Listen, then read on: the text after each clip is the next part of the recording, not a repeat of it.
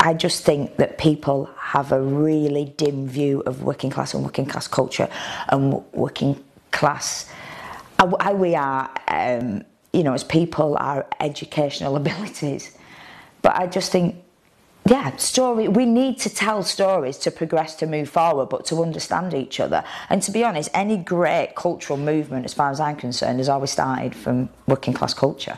And then the middle classes come and nick it and then stick a price tag on it, and then we have to pay a lot of money for it.